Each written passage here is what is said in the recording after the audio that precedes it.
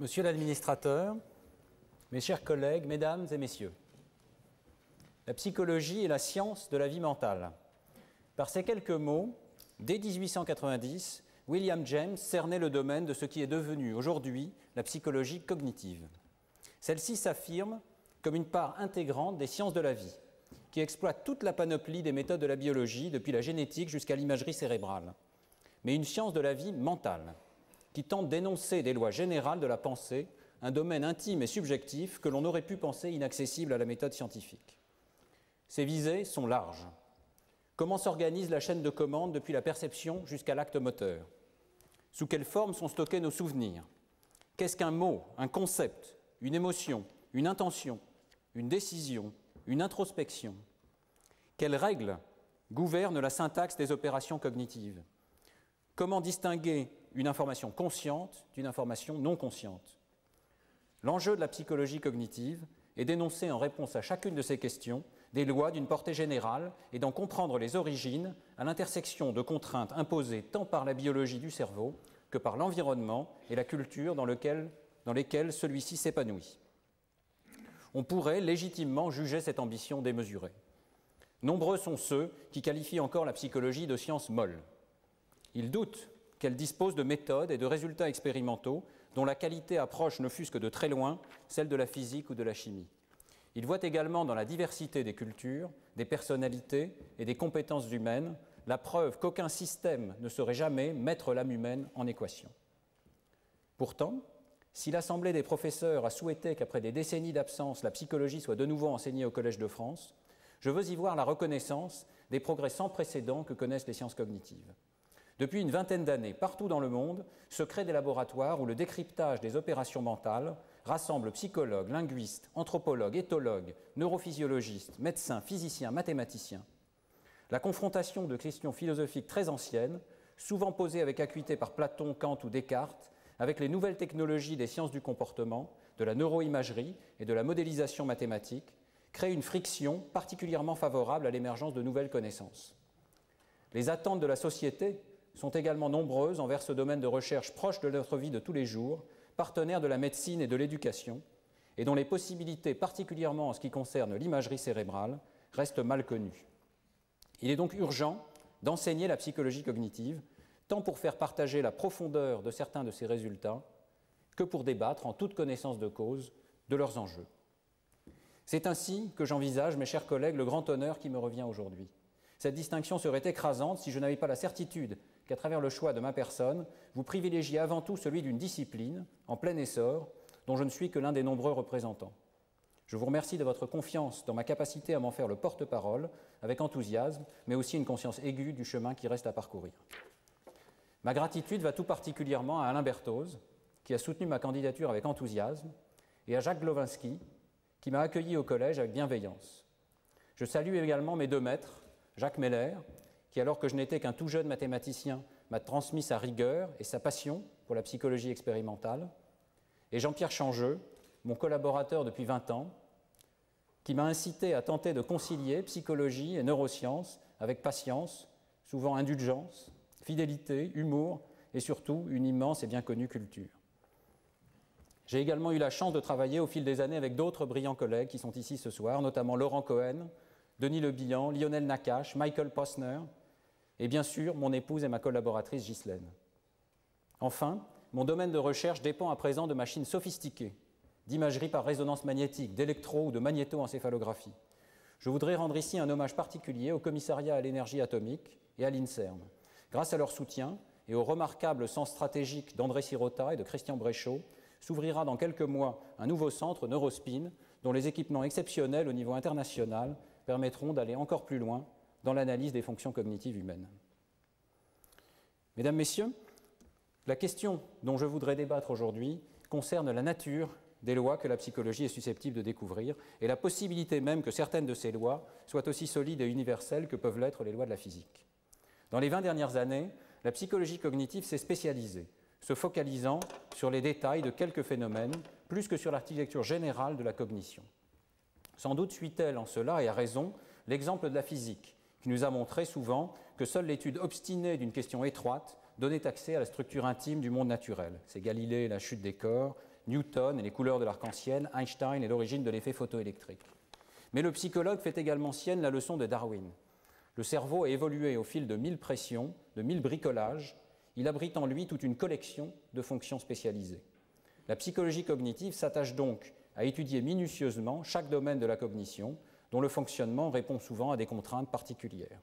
Ainsi existe-t-il une psychologie de la reconnaissance des visages, de la lecture, de la programmation de l'action, des émotions ou de la représentation d'autrui?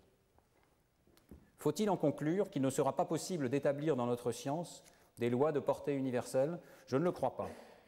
Par-delà les hasards de l'histoire évolutive et culturelle de l'espèce humaine, j'envisage au moins trois sources possibles de lois générales de la cognition. En premier lieu, interviennent évidemment des lois physiques, chimiques et biologiques. L'ancrage de la pensée dans la biologie du cerveau implique que les principes d'organisation du vivant contraignent notre vie mentale. Comme le souligne Jean-Pierre Changeux, le cerveau de l'homme est une formidable machine chimique, où l'on retrouve les mêmes mécanismes moléculaires à l'œuvre que chez la mouche drosophile ou le poisson torpille. C'est ainsi que la vitesse, ou plutôt la lenteur, de nos opérations mentales et de nos apprentissages se relie directement à la vitesse de propagation des signaux électriques et des transitions moléculaires des récepteurs membranaires de notre cerveau. Dès 1850, à l'aide de méthodes mises au point par Émile Dubois-Raymond, le physicien et physiologiste Hermann von Helmholtz établit la vitesse de l'influx nerveux, seulement quelques dizaines de mètres par seconde. En 1868, inspiré par ses travaux, Franciscus Donders démontre que cette conduction lente affecte nos décisions mentales. La vitesse de la pensée n'est pas infinie. Il est aisé de décomposer les opérations mentales en une somme d'étapes lentes, plusieurs dizaines de millisecondes par étape.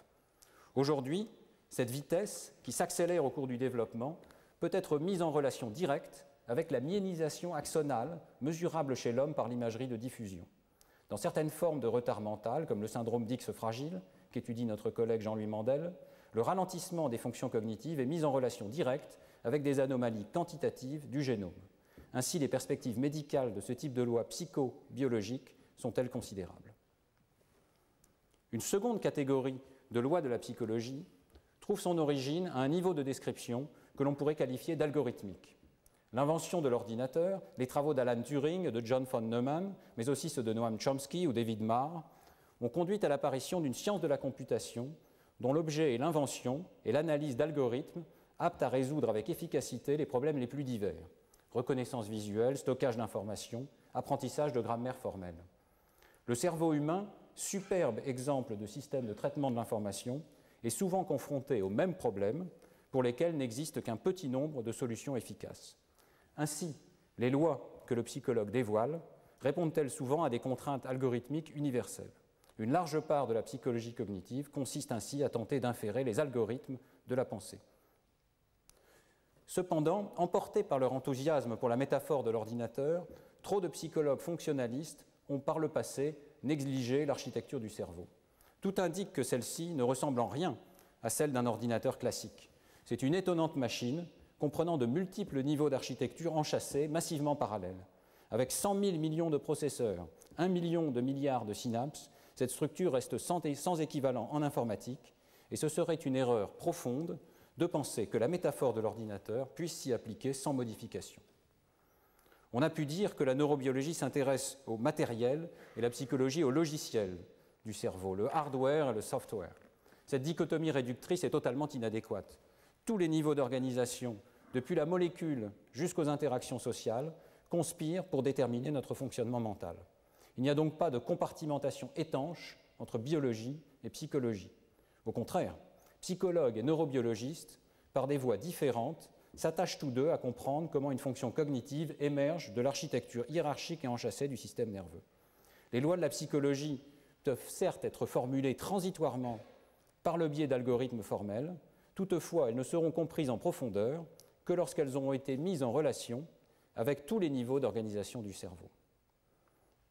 À ceux que découragerait la complexité de ce programme, je rappellerai simplement la boutade de Lyle Watson Si notre cerveau était simple, nous serions encore trop simples pour le comprendre. C'est précisément parce que notre cerveau est assez complexe que nous avons une petite chance de le comprendre. Les méthodes de neuroimagerie jouent ici un rôle central. Il reste encore quelques psychologues pour ne voir dans l'imagerie cérébrale qu'une coûteuse entreprise de néophrénologie, dont l'unique objectif serait la localisation des fonctions. Pour illustrer pourquoi cette vision phrénologique est erronée, j'aime à montrer une gravure de Matthias Greuter, qui, dès le XVIe siècle, semble anticiper l'avenir de l'imagerie cérébrale. On y voit un volontaire se faire scanner dans un four d'alchimie. De son cerveau émergent non pas des localisations, mais des représentations mentales. Musique, personnages, animaux, maisons. La métaphore me paraît juste. L'imagerie vise avant tout à décomposer l'architecture fonctionnelle des représentations mentales et offre un accès plus direct aux mécanismes de la pensée que la seule analyse du comportement. Aux psychologues cognitifs qui aiment soigner ces outils, l'imagerie cérébrale fournit le plus aiguisé des scalpels. Pour le plaisir des yeux autant que pour celui de l'esprit, examinons ensemble quelques exemples significatifs. Au niveau anatomique, tout d'abord, nous disposons aujourd'hui d'anatomistes virtuels, des programmes entièrement automatisés, capables, par exemple, d'étiqueter automatiquement les sillons du cortex. Ici, les couleurs se stabilisent à mesure que l'ordinateur assigne automatiquement une identité à chacun des sillons du cortex. Ces programmes peuvent séparer les faisceaux transcorticaux de la substance blanche. Ici, chaque couleur correspond à un faisceau identifié qui relaie différentes régions corticales.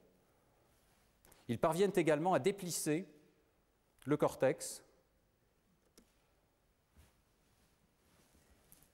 pour le présenter sous forme de carte plane et standardisée. Mais cette cartographie, comme je l'ai dit, n'est qu'une étape.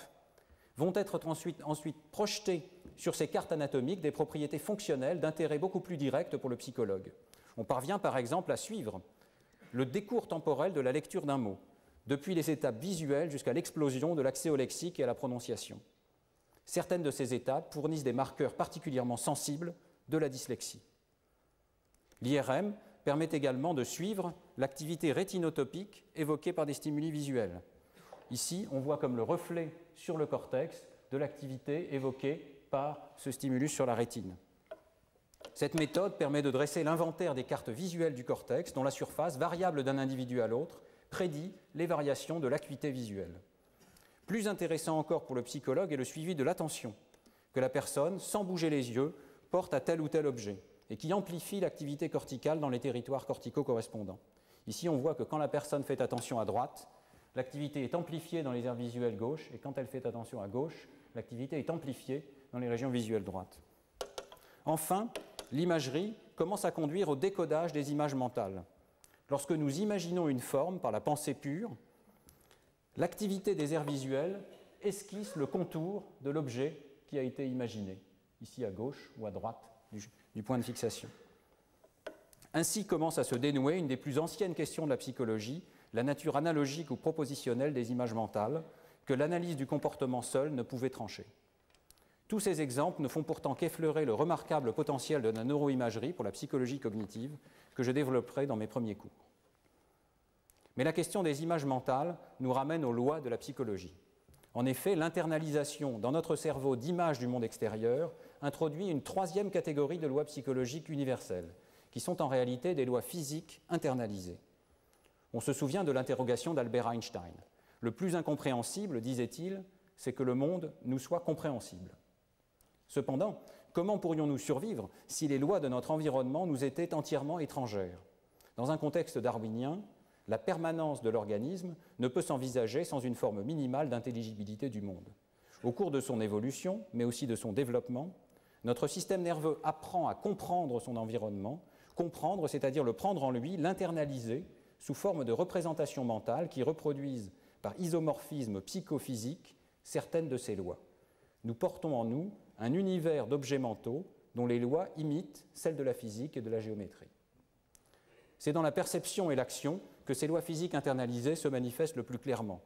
Notre appareil sensorimoteur connaît par exemple la cinématique lorsqu'il anticipe les trajectoires des objets.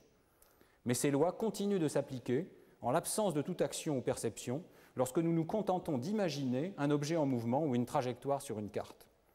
Comme l'ont montré Roger Shepard et Stephen Koslin, le temps de rotation ou d'exploration de ces images mentales suit une fonction linéaire de l'angle ou de la distance à parcourir. La trajectoire mentale imite la trajectoire d'un objet physique.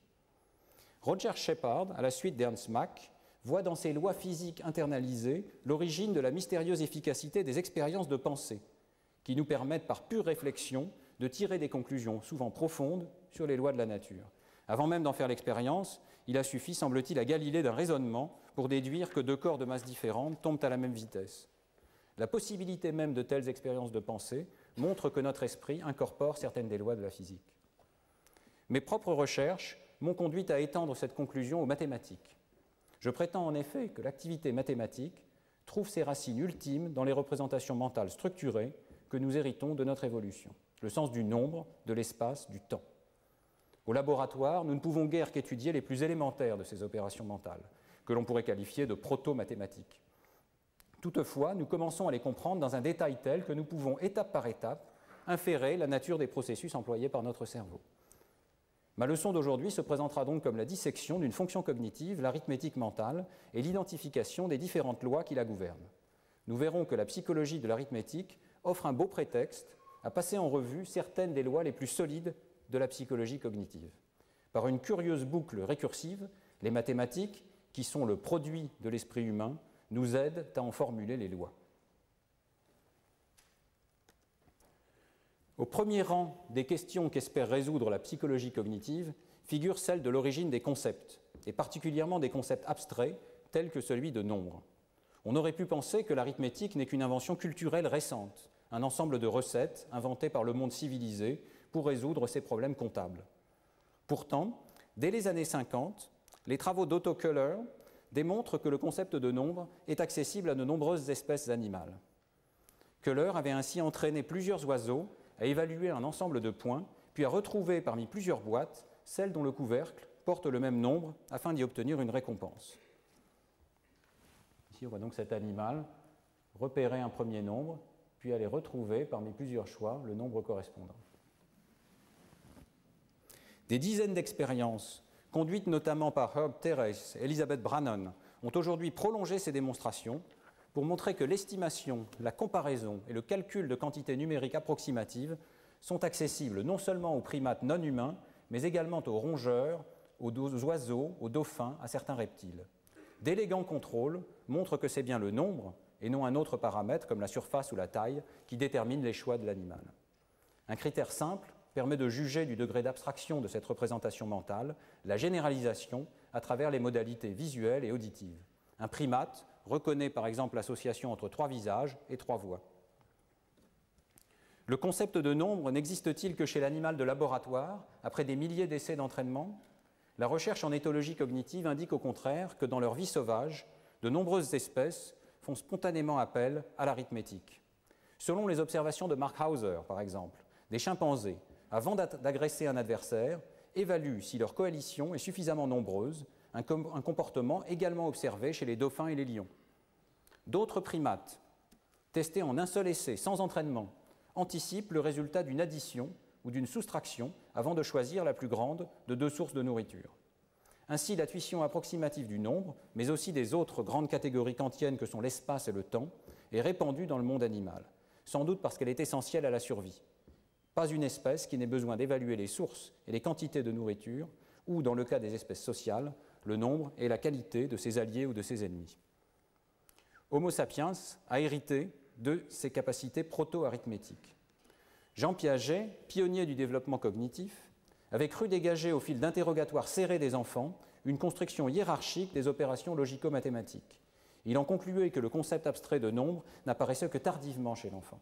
Mais ces recherches ne distinguaient peut-être pas suffisamment la formulation explicite et souvent linguistique des concepts, effectivement tardive, d'une intuition arithmétique non verbale bien plus précoce et universelle. La nouvelle psychologie du développement s'est inspirée de l'éthologie afin d'évaluer sans recourir au langage les compétences de bébés de quelques mois seulement. Dans le domaine de l'arithmétique, les résultats sont sans appel. Le sens des nombres existe très tôt chez le nourrisson. Même un bébé de quelques mois sait déjà faire la différence entre 8 et 16 objets, établir des liens multimodaux entre deux sons et deux images, ou évaluer une opération arithmétique concrète. Les expériences de Karen Wynne et d'Elisabeth Spelke indiquent que l'enfant a déjà internalisé les opérations arithmétiques fondamentales d'addition et de soustraction. Lorsqu'une animation montre cinq objets disparaître derrière un écran, puis cinq autres objets s'y ajouter, le bébé regarde plus longuement la scène finale si celle-ci, par magie, ne montre que cinq objets et non les dix attendus. Vingt ans de recherche sur le développement cognitif réfutent ainsi l'idée d'une lente construction logique qui s'étalerait tout au long de l'enfance. Dès la naissance, notre cerveau s'attend à trouver, dans le monde extérieur, des objets mobiles dont les combinaisons obéissent aux règles de l'arithmétique. Pour autant, le concept de nombre est-il inné? Je récuse ce terme, dont la psychologie cognitive me semble souvent faire un usage imprudent et presque incantatoire. Dire qu'un comportement est inné ne fait que cacher notre ignorance des mécanismes de son développement, la plupart du temps. Un vaste fossé explicatif sépare la génétique moléculaire, seul niveau où l'on peut peut-être légitimement parler de code inné, des compétences précoces de l'enfant. Les gènes ne spécifient pas des comportements, encore moins des concepts, tout au plus définissent-ils des biais initiaux, un instinct d'apprendre, pour reprendre l'expression heureuse de James Gould et Peter Marler. En bref, l'organisation initiale et le développement du cerveau du bébé constituent une vaste terra incognita, pratiquement vierge, qu'il sera passionnant d'explorer dans les années à venir. La présence de compétences numériques chez le nourrisson, avant même l'acquisition des premiers mots, souligne la possibilité d'une pensée abstraite sans langage. Sur ce point, les préoccupations de la psychologie rejoignent celles de l'anthropologie cognitive, dégager par-delà la variabilité des langues et des cultures des structures mentales universelles. Dans les dernières années, une série de recherches s'est inspirée des méthodes utilisées chez le jeune enfant pour démontrer la présence d'une intuition arithmétique sans langage chez des peuples lointains. Mon collègue linguiste Pierre Pica a ainsi examiné les compétences arithmétiques et mathématiques d'un peuple d'Amazonie, les Munduruku, qui n'ont de mots que pour les petits nombres de 1 à 5. Si les mots conditionnent la pensée, comme l'envisage un débat classique, alors la cognition numérique de ces Indiens devrait se cantonner aux petits nombres approximatifs. Mais il n'en est rien. Les Munduruku, enfants comme adultes, possèdent une riche intuition arithmétique. Lorsque les tests ne font pas appel au langage mais présentent de grands nombres sous forme d'ensemble animé d'objets, euh, les participants comprennent instantanément ce qu'est une addition, une soustraction ou une comparaison approximative. Ils ne savent pas compter, mais ils savent que le cardinal d'un ensemble change dès qu'on y ajoute ou retranche un objet. Le concept de nombre précède donc le nom de nombre. Il en va de même en géométrie. Les concepts fondamentaux, point, droite, parallélisme, distance, milieu, sont tous présents sous une forme proto-mathématique avant que nous ayons les mots pour le dire. L'expérimentation a permis de dégager, au sein de ce noyau de compétences, des lois simples et universelles, valides chez l'homme adulte comme chez le bébé ou chez l'animal. Illustrons-les par un test très simple d'estimation du nombre. Deux ensembles sont présentés visuellement côte à côte et l'on demande de décider sans compter lequel contient le plus grand nombre d'objets. En faisant varier systématiquement les deux nombres, nous observons une première loi, l'effet de distance. Le nombre d'erreurs de comparaison décroît suivant une fonction régulière de l'écart entre les nombres.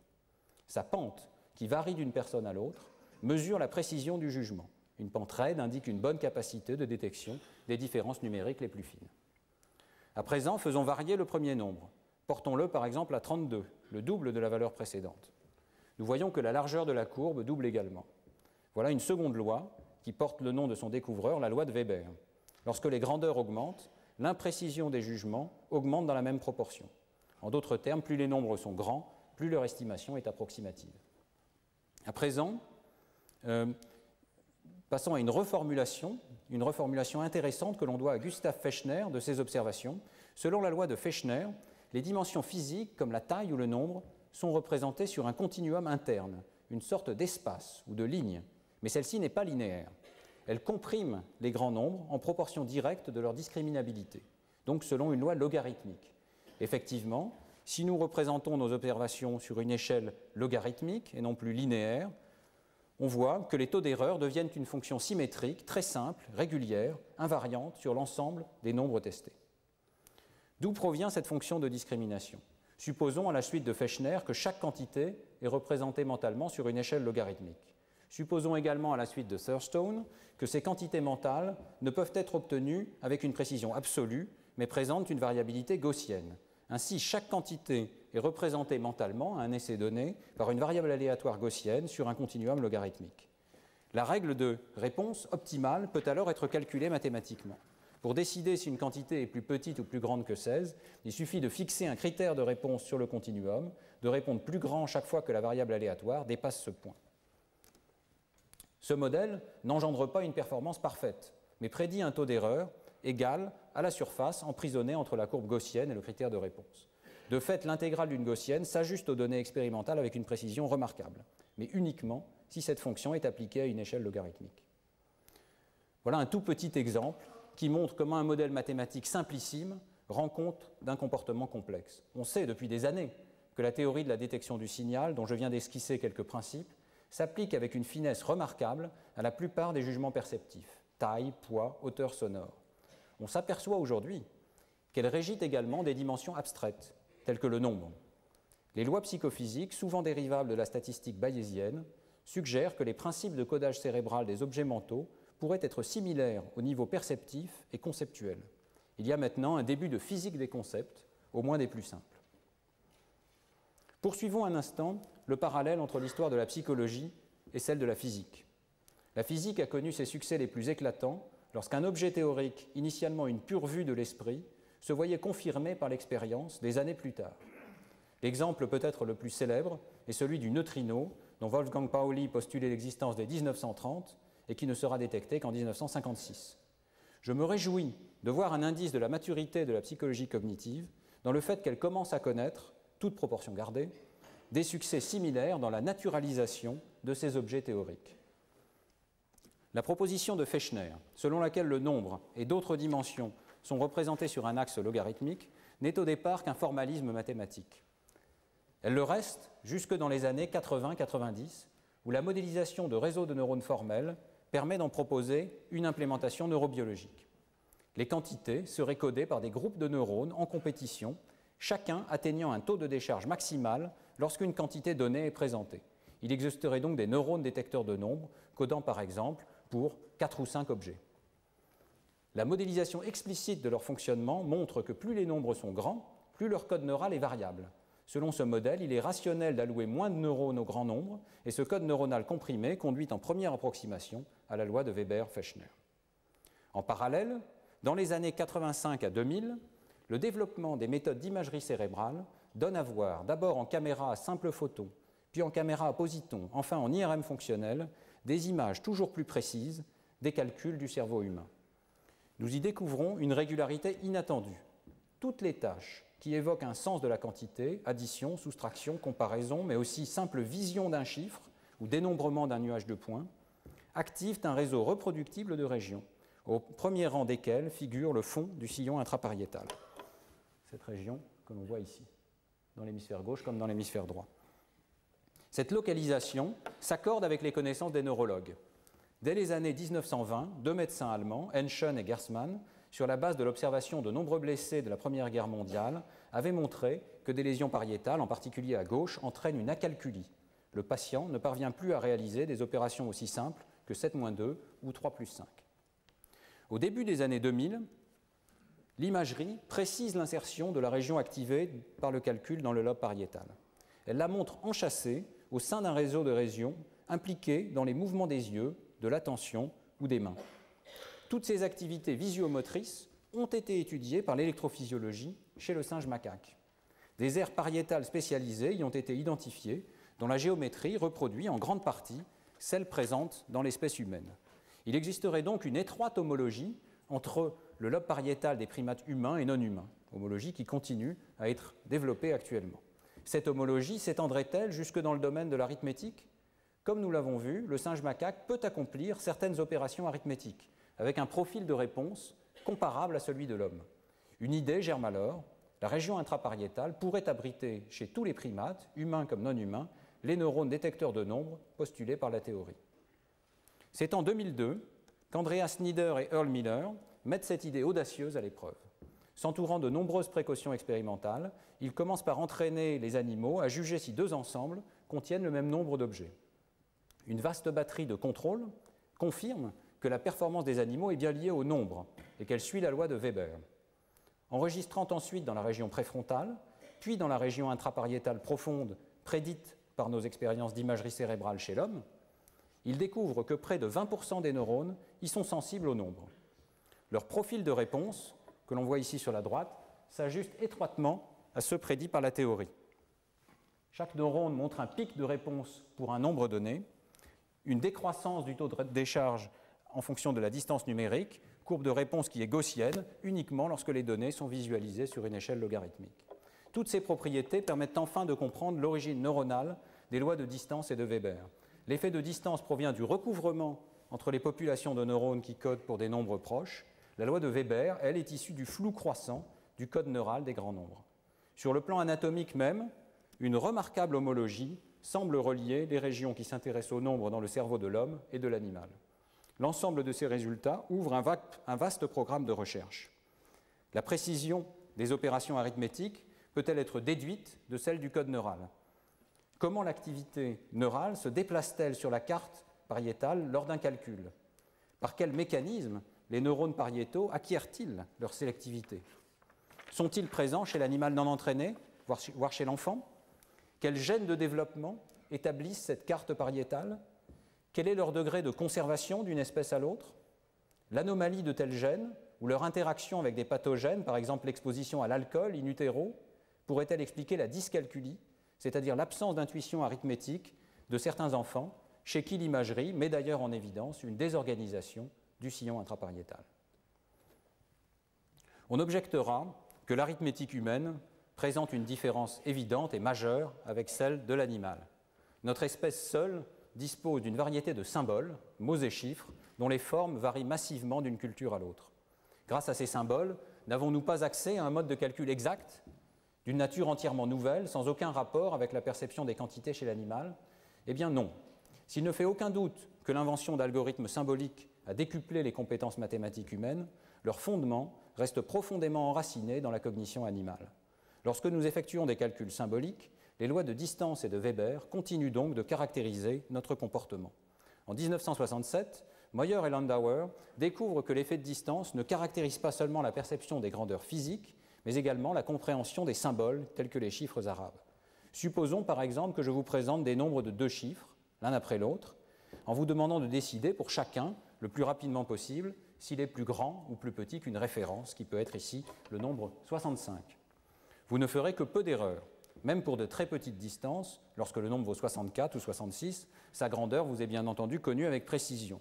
Cependant, votre temps de réponse variera systématiquement avec la distance. Rapide pour les nombres loin de 65, de plus en plus lent à mesure qu'on s'approche de cette référence. Ces derniers nombres ne sont d'ailleurs pas totalement exempts d'erreurs. Comment comprendre cet effet? Le cerveau ne se cantonne visiblement pas à la manipulation des symboles digitaux des chiffres arabes. Si tel était le cas, il comparerait d'abord le chiffre de gauche avec 6, puis seulement si nécessaire le chiffre de droite avec 5. On constate au contraire que la quantité globale est prise en compte. Une conversion mentale se produit. Le nombre est traduit mentalement en une quantité interne comparable avec celle qui serait évoquée par un ensemble d'objets, donc variables, fluctuantes, soumises aux lois de la psychophysique. En présence de telles fluctuations stochastiques, le cerveau doit se comporter comme un statisticien qui collecte de multiples échantillons avant d'atteindre une conclusion ferme. L'effet de distance peut alors s'expliquer par le fait que cette collecte dure d'autant plus longtemps que les objets à comparer sont proches. Mais comment modéliser cette opération? Dès 1943, Alan Turing avait en fait formalisé ce, ce, problème dans un contexte cryptographique. À Bletchley Park étaient reçus les messages allemands cryptés par la machine Enigma. Chaque fraction de message ne fournissait que quelques bribes d'informations jugés trop infimes pour être exploitables. Turing découvrit comment les combiner afin d'obtenir une information plus stable. Sa théorie définit le poids d'une information i en faveur de l'hypothèse A comme le logarithme de sa vraisemblance, c'est-à-dire du rapport des probabilités d'observer i dans cette hypothèse et dans l'hypothèse contraire. Selon la loi de Bayes, les poids fournis par des bribes indépendantes d'informations peuvent alors s'additionner. Même si chaque information est infime, il suffit donc d'additionner leur poids et d'attendre que le total atteigne un seuil donné de certitude. Combiné à l'usage des premiers calculateurs, l'algorithme de Turing permit de décrypter le code Enigma.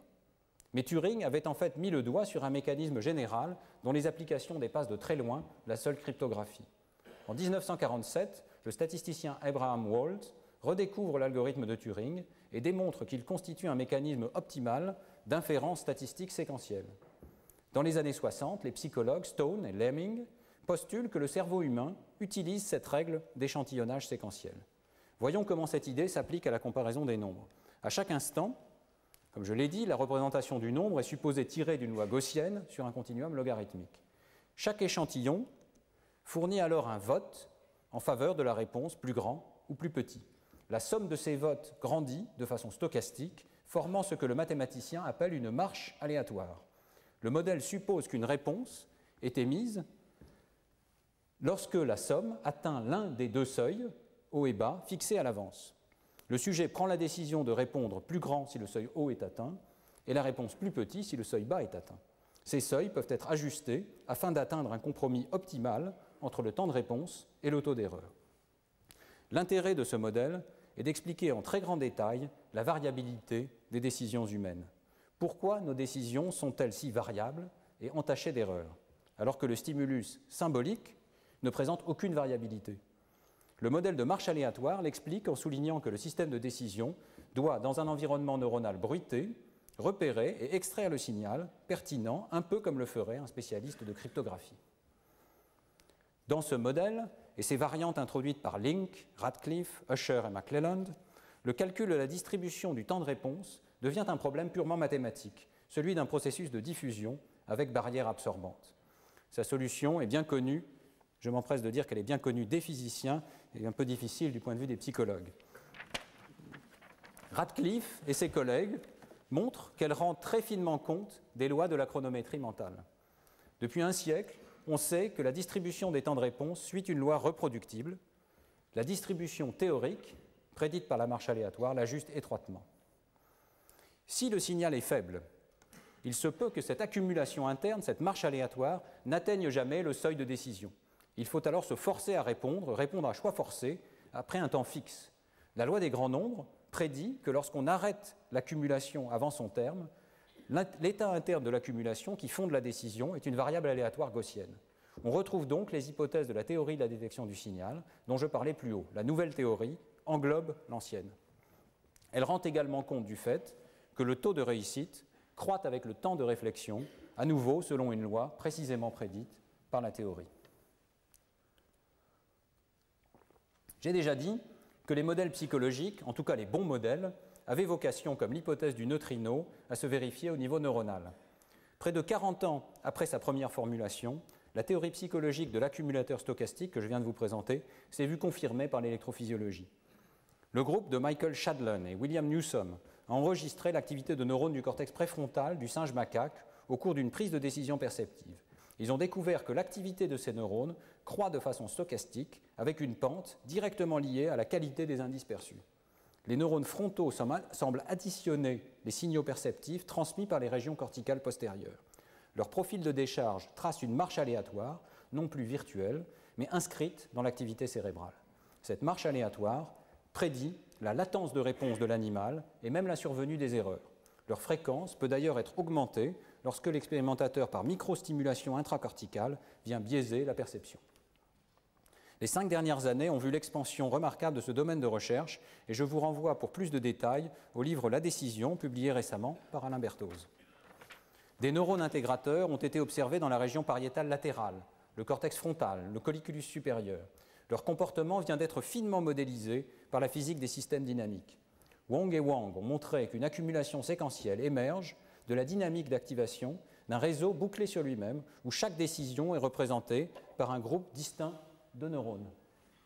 C'est un modèle minimal, évidemment très simplifié, mais qui présente l'intérêt de lier la faculté d'intégration temporelle à la vitesse de réponse des récepteurs NMDA du glutamate, une prédiction intéressante qu'il faudra tester à l'avenir. Doivent encore être ajoutés à ce modèle des mécanismes de récompense qui biaisent la prise de décision en faveur de celles qui ont conduit par le passé à une issue favorable. Ces biais émotionnels, qu'Antonio Damasio aima appeler réaction viscérale, régulent nos choix, souvent pour le meilleur, parfois pour le pire. L'addiction aux drogues pourrait s'expliquer, pour partie au moins, par un biais de cet appareil décisionnel, les substances actives manipuleraient directement les mécanismes pharmacochimiques de la décision, en sorte qu'ils restent figés dans un choix sans issue. L'élucidation progressive des réseaux de la décision mentale donne ainsi corps à la vision de Jean-Pierre Changeux, qui, dans sa leçon inaugurale, soulignait, je cite, Une compatibilité de totale de principes existe entre le déterminisme le plus absolu et l'apparente imprévisibilité d'un comportement. Toute pensée émet un coup de dé, disait déjà Mallarmé. Conformément au projet défini dans l'homme neuronal, la variabilité et l'illusoire libre arbitre des décisions humaines se rattachent à des mécanismes neuronaux simples dont la dynamique gouverne notre comportement. La psychologie naïve se demande comment nous prenons des décisions. La nouvelle théorie indique comment des décisions se prennent en nous par brisure de symétrie dans un réseau stochastique et métastable. Dans cette théorie, les lois psychologiques de la chronométrie mentale se déduisent de la physique statistique des réseaux neuronaux et ceci implémente en première approximation l'algorithme de prise de décision de Turing. En bref, l'évolution a doté nos réseaux cérébraux d'une dynamique qui approxime la statistique d'un observateur idéal. Après nous être penchés sur la décision, reprenons un plan plus large pour reconsidérer les étapes successives de traitement d'un symbole numérique. Le modèle auquel nous arrivons se décompose en trois stades. Reconnaissance visuelle du symbole, conversion en une quantité interne qui sert de support à la prise de décision, enfin programmation motrice de la réponse. Pour évaluer la validité d'une telle décomposition, le psychologue Saul Sternberg a introduit en 1969 la méthode des facteurs additifs. Il s'agit de faire varier de façon indépendante plusieurs variables expérimentales, chacune étant supposée n'affecter qu'une étape, et d'étudier leur impact sur le temps de réponse et sur l'activité cérébrale. Dans le cas de la comparaison des nombres, chaque étape peut effectivement être sélectivement ralentie par un facteur expérimental distinct. L'identification visuelle est plus lente pour les mots que pour les chiffres. La décision, comme nous l'avons vu, se ralentit lorsque la distance numérique diminue. Enfin, la latence des réponses augmente si l'on accroît leur complexité. Par exemple, en demandant aux participants de cliquer deux fois de suite. Si le traitement de l'information est sériel, les effets cumulés de chacun de ces ralentissements doivent être additifs. Tel est effectivement le cas. Chaque étape ajoute un temps fixe au temps moyen total de calcul. L'IRM fonctionnel et l'électroencéphalographie confirment la présence de trois systèmes cérébraux distincts, chacun affecté par un seul facteur et se déployant à un moment différent.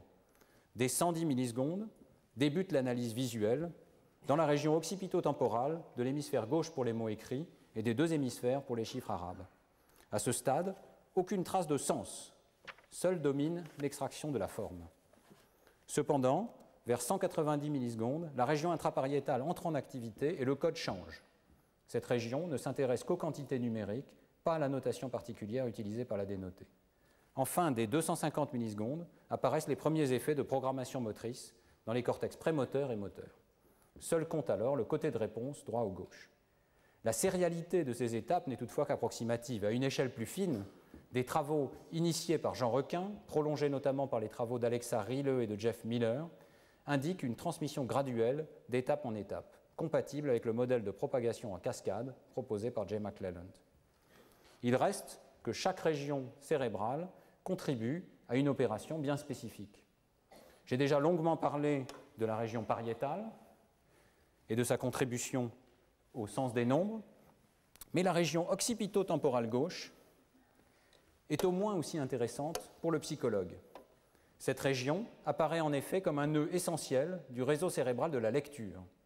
Dès 1892, Desgerine avait remarqué son rôle dans l'identification des lettres et des mots en décrivant le syndrome d'Alexipure.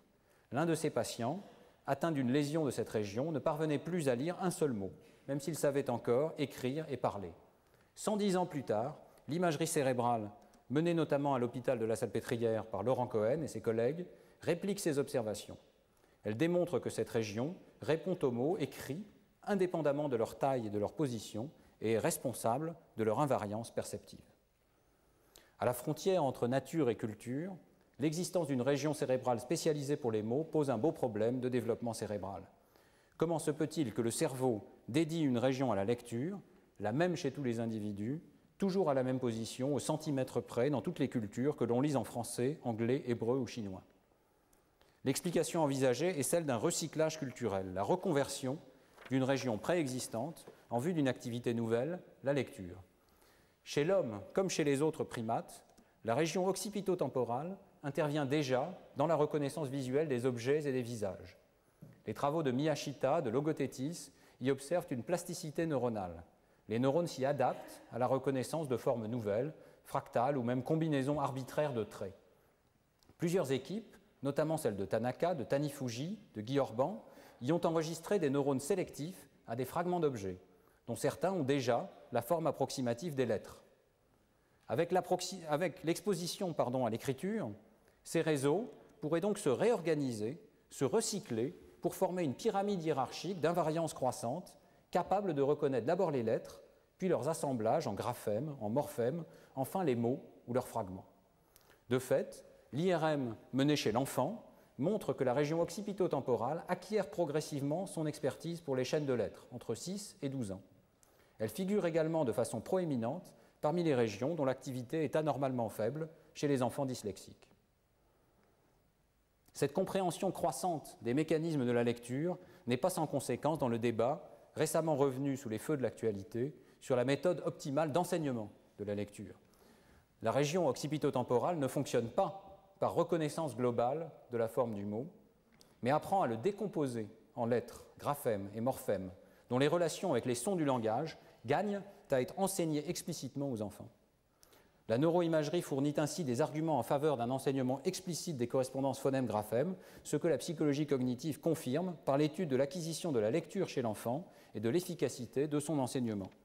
Le temps paraît mûr pour que se développent dans ce domaine, comme dans celui de l'arithmétique, des expérimentations cognitives qui associeraient étroitement éducateurs et spécialistes du cerveau et de la psychologie.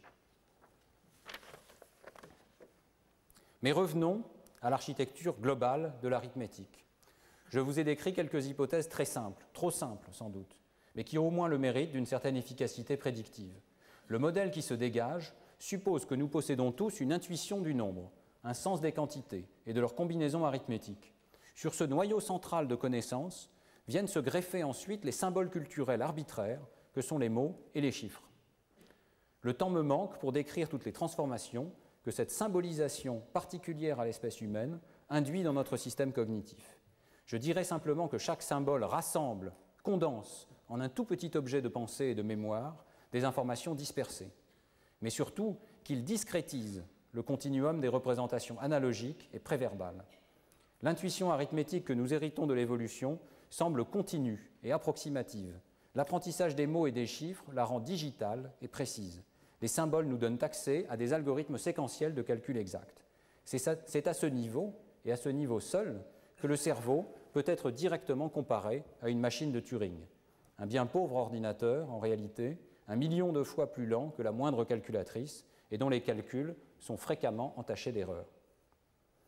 La machine de Turing humaine reste bien mystérieuse. Comment faisons-nous pour enchaîner plusieurs opérations? Comment contrôlons-nous l'exécution de chaque étape? La vision linéaire et pour ainsi dire réflexe de l'activité mentale qu'adoptent par commodité beaucoup de modèles psychologiques laisse penser que les processus cognitifs s'enchaînent automatiquement sans aucune supervision. Or, que la personne fasse une erreur, qu'elle soit distraite, que de multiples tâches la sollicitent, et l'on voit aussitôt entrer en action d'autres systèmes qui occupent une position hiérarchique plus élevée. Le schéma simpliste d'un traitement réflexe entrée-sortie doit donc être bouleversé au profit d'un modèle où s'exerce un fort contrôle descendant.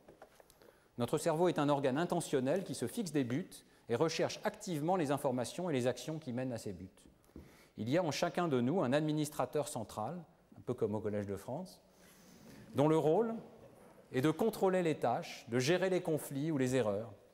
Mais cet opérateur mental, je parle de la psychologie, trop souvent resté un homonculus ou un deus ex machina de la psychologie, doit lui-même s'analyser en mécanisme élémentaire.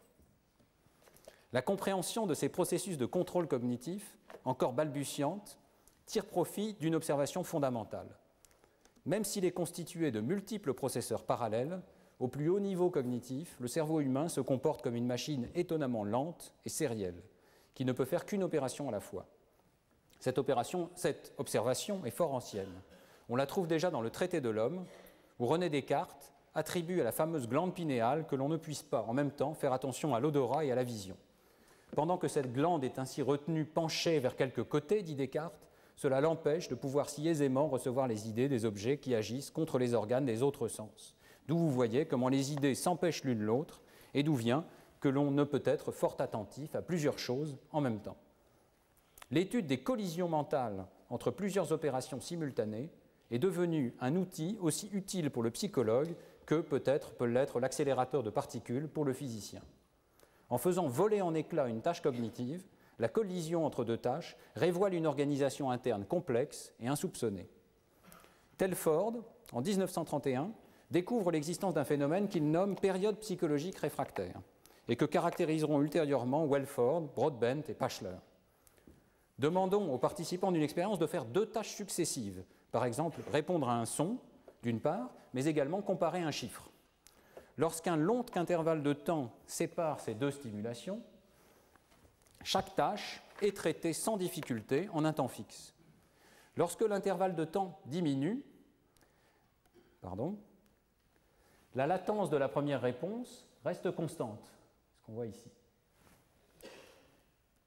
Par contre, la latence de la seconde réponse se ralentit.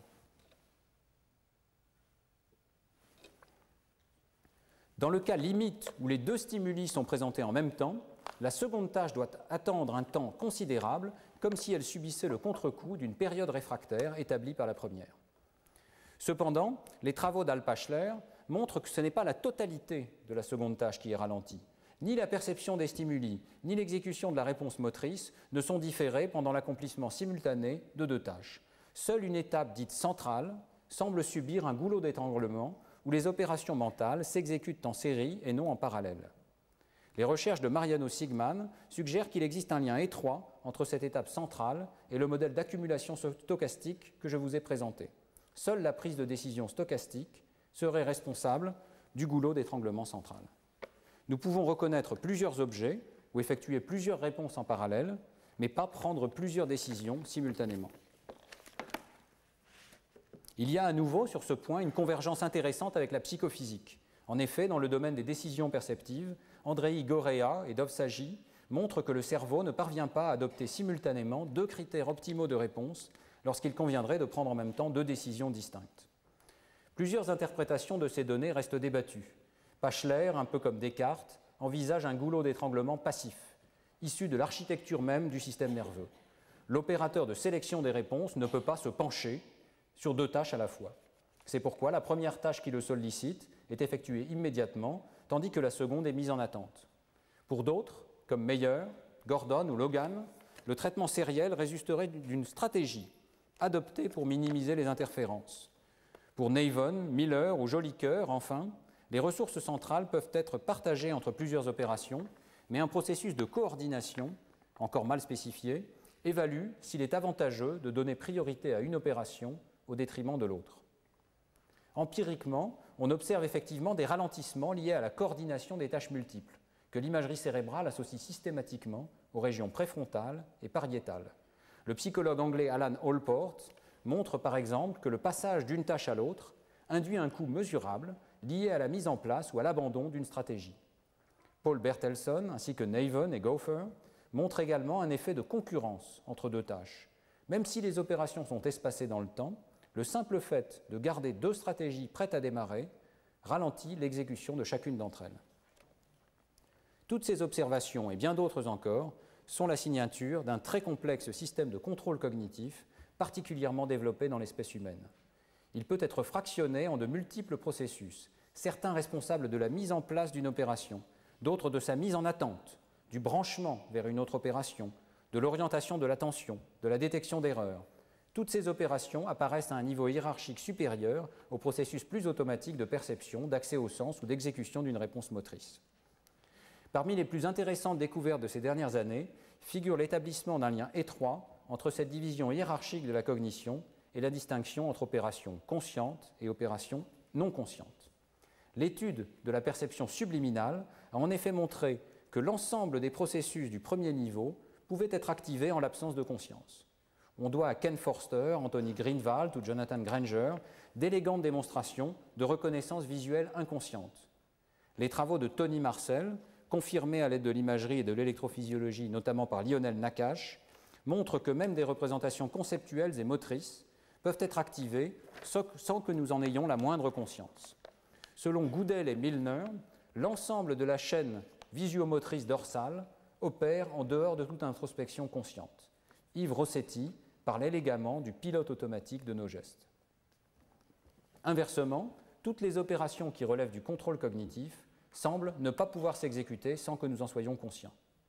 Selon Larry Jacobi, par exemple, agir à l'encontre de nos automatismes cognitifs, par exemple dire rouge lorsque nous voyons le mot vert et vice-versa, nécessite un contrôle conscient. Lorsqu'un conflit ou une erreur survient dans les processus de bas niveau, le contrôle cognitif augmente lors des essais suivants, mais cette reprise de contrôle n'intervient que lorsque le conflit est détecté consciemment, pas lorsque les stimuli sont présentés sous le seuil de conscience. On peut tenter de résumer ces observations par deux lois simples. Premièrement, un stimulus non conscient peut traverser une série d'étapes perceptives, conceptuelles et motrices préparées par l'administrateur central. Deuxièmement, l'accès aux processus centraux s'accompagne nécessairement d'une prise de conscience. Selon ce modèle, la conscience apparaît associée à un système cérébral sériel, à capacité limitée, responsable du contrôle des autres opérations mentales. Il peut paraître surprenant que nous n'ayons qu'une conscience réduite à un objet de pensée à la fois. Cependant, cette limite centrale est confirmée par les travaux de Sperling, prolongés par Raymond, Shapiro, Duncan. Dans le paradigme de collision mentale dont je vous ai parlé, il montre qu'un stimulus présenté pendant le traitement central d'une autre cible peut être littéralement effacé de la conscience. Lorsque ce stimulus est suivi d'un masque, son traitement ne se poursuit pas jusqu'au bout. Sa perception consciente s'évanouit le sujet affirme qu'aucun stimulus n'a été présenté. C'est le phénomène de clignement attentionnel. Le fait de prendre conscience d'une première information ferme temporairement l'accès à la seconde. Le lien entre l'attention exécutive et la conscience est renforcé par d'autres illusions visuelles. Kevin O'Regan, avec Ronald Rensink, a développé un paradigme de cécité au changement, dans lequel deux images différentes alternent, entrecoupées d'un léger flash qui bloque l'attraction automatique de l'attention vers les régions où l'image change. Dans ces conditions, il est possible de rester plusieurs dizaines de secondes sans voir qu'un changement majeur a lieu sous nos yeux. Je vous laisse examiner cette image pour voir si vous parvenez à découvrir l'élément qui en ce moment même est en train de changer sur votre rétine sans que vous en ayez conscience. Si l'on faisait de l'imagerie cérébrale, on pourrait voir se propager dans votre cerveau une petite activation non consciente jusqu'à ce que j'attire votre attention sur, je ne sais pas si vous l'avez peut-être remarqué, sur la montagne qui est au fond de, de l'image ici et qui change et qui n'est pas détectée. De telles expériences, et il y en a beaucoup, ouvrent une fenêtre sur l'un des problèmes les plus aigus posés à la psychologie cognitive. Qu'est-ce que la conscience? Certains philosophes ont souligné le hiatus apparent entre le caractère subjectif de l'expérience consciente et l'analyse objective à la troisième personne que l'on peut mener par les méthodes de la psychologie cognitive. Selon eux, l'expérience consciente, par nature subjective, échapperait à l'expérimentation. Je ne partage pas ce point de vue. Les paradigmes de masquage, de clignement attentionnel, de cécité au changement, et bien d'autres encore, témoignent qu'il existe des conditions expérimentales reproductibles dans lesquelles tous les sujets s'accordent sur la nature de leur expérience consciente et sont capables de la rapporter. Ces phénomènes permettent d'identifier des bases cérébrales objectives de la conscience subjective. Dans les dernières années, on ne compte plus les illusions, erreurs, hallucinations qui toutes ont été modélisées et rapportées à des bases neuronales objectives. La synthèse que l'on voit poindre de ces recherches associe, de façon hypothétique, l'accès conscient à un système pariéto-frontal qui amplifie, rassemble organise les informations issues d'autres régions corticales afin de les intégrer à un comportement contrôlé et intentionnel. Cette idée n'est pas neuve. William James l'anticipait déjà en soulignant que quelle que soit la complexité d'un objet, nous le concevons dans notre pensée comme un unique état indivisible de conscience. Dès 1921, le neurologue Leonardo Bianchi évoque un champ des synthèses mentales, particulièrement développé chez l'homme, qu'il associe au lobe frontal. En 1989, Bernard Bars emploie la métaphore d'une scène de théâtre où l'information consciente est rassemblée pour être, pour être ensuite diffusée à une variété de processus mentaux. La neuroanatomie et l'imagerie cérébrale donnent aujourd'hui une certaine réalité à ces métaphores. Elles confirment que les aires préfrontales sont impliquées dans un vaste réseau associatif dont l'entrée en activité soudaine et coordonnée ponctue chaque accès d'une information à la conscience. Les travaux de physiologistes tels que Victor Lameux ou Christophe Corr et de psychologues tels que Vincent Di Lollo convergent pour souligner le rôle essentiel de l'amplification neuronale à longue distance. Selon eux, l'information représentée par la décharge d'une population de neurones spécialisés accède à la conscience dès lors qu'elle entre en réverbération avec d'autres neurones distants associés à des processus attentionnels, nésiques ou exécutifs et distribués dans les cortex temporaux, pariétaux et préfrontaux. Des simulations neuroinformatiques, certes rudimentaires, confirment que de tels réseaux réverbérants possèdent des propriétés objectives de transition de phase dont les caractéristiques reproduisent les phénomènes perceptifs les plus fondamentaux.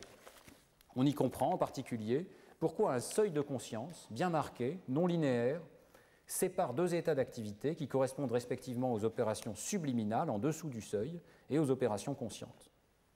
Tous ces travaux très récents laissent entrevoir un début de définition théorique de la conscience. Toutefois, pour atteindre cet objectif, deux obstacles majeurs devront être levés. Le premier consistera à passer de la simple corrélation à la relation de cause à effet. La neuroimagerie cognitive, en effet, ne peut montrer qu'une corrélation entre certains états d'activité du cerveau et l'accès des informations à la conscience. Reste alors ouvert ce que les philosophes Tom Nagel et Ned Block appellent un gouffre explicatif entre le niveau matériel et celui du psychisme. Gouffre explicatif qui a conduit certains philosophes, psychologues et même physiologistes comme John Eccles à l'impasse du dualisme. À l'avenir, la démonstration d'une relation de causalité et in fine d'identité entre états neuronaux et états mentaux conscients passera par l'utilisation de techniques d'interférence avec l'activité cérébrale. La stimulation magnétique transcrânienne est une technique déjà ancienne d'induction de courant dans le cerveau. On peut voir qu'elle s'est tout de même améliorée au fil des années. Lorsqu'elle est appliquée au cortex visuel, cette stimulation suscite des perceptions illusoires de lumière et de mouvement. Inversement, lorsqu'elle est appliquée aux régions pariétales impliquées dans l'attention, elle peut aussi effacer la perception consciente d'un stimulus réel. Ainsi commence à s'établir un lien causal entre l'attention, l'intégration centrale et la perception consciente. Le second obstacle à l'établissement d'une théorie de la conscience est d'une autre nature. La conscience, nous dit William James, est un flux ininterrompu, un train permanent de pensée, le vol d'un oiseau qui sans cesse s'envole ou se pose. J'aime cette métaphore qui rejoint la vision du physiologiste Rodolfo Linas. Le cerveau fonctionne sur un mode anticipatoire, sans cesse actif, ressassant le passé pour mieux anticiper le futur. Cependant, la psychologie cognitive néglige souvent cet état interne du sujet conscient, se contentant de le bombarder de stimuli et de recueillir ses réponses. Il s'agit aussi d'une limite expérimentale technique. Comment pourrions-nous inférer la structure des représentations mentales sans recueillir la moindre réponse? Là encore, la neuroimagerie pourrait offrir une certaine solution. Lorsqu'une personne est au repos, sans instruction particulière, son cerveau montre une intense activité structurée, souvent pariéto-frontale, qui fluctue spontanément entre plusieurs états corrélés à longue distance. La stimulation extérieure interrompt brièvement ce flux qui reprend une fois la tâche terminée. D'après Pierre Maquet et Stephen Lorries, cette activité spontanée distribuée caractérise l'état de veille consciente. Elle disparaît sous anesthésie et dans le sommeil profond, est absente chez les patients comateux et en état végétatif, mais réapparaît lorsqu'ils recouvrent conscience. Autrement dit, elle pourrait constituer un solide corrélat neuronal de l'état de vigilance consciente. Cette activité spontanée est dramatiquement altérée dans la dépression et la schizophrénie, ouvrant ainsi de nouvelles perspectives de compréhension des maladies psychiatriques. L'activité mentale autonome, trop souvent négligée, doit donc redevenir un objet d'étude pour la psychologie cognitive. Nos expériences brident souvent les participants dans des tâches cognitives étroites. Si l'on espère comprendre le flux spontané de la conscience, de nouvelles méthodes expérimentales qui laisseraient une bien plus grande liberté au sujet devront donc être imaginées.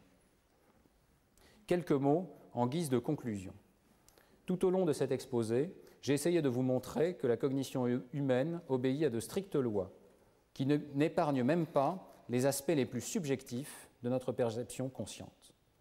Nous avons parcouru un chemin considérable depuis que Skinner énonçait, je le cite, La psychologie, selon les visées behavioristes, est une branche purement objective des sciences naturelles. L'introspection ne fait pas partie essentielle de ces méthodes et la valeur scientifique de ces données ne dépend pas de la facilité avec laquelle elles s'interprètent sous l'angle de la conscience. Au contraire, dans la psychologie d'aujourd'hui, les données subjectives de la conscience sont des objets d'étude légitimes dans la mesure où la modélisation et l'imagerie les mettent en relation directe avec les données objectives de l'architecture cérébrale.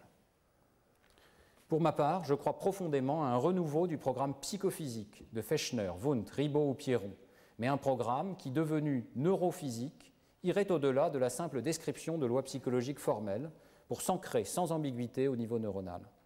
L'explication ultime des objets mentaux, que sont les perceptions, les illusions, les décisions ou les émotions, doit se formuler en termes de lois dynamiques, de transition dans les réseaux neuronaux. Nous devons donc concevoir de nouvelles théories pour, comme le disait le physicien Jean Perrin, substituer au visible compliqué de l'invisible simple. Je mesure pleinement l'immense chance que nous avons de vivre un temps où les avancées conjointes de la psychologie et de la neuroimagerie cognitive laissent entrevoir de rendre enfin visible, comme à crâne ouvert, l'invisible de la pensée. Je vous remercie de votre attention.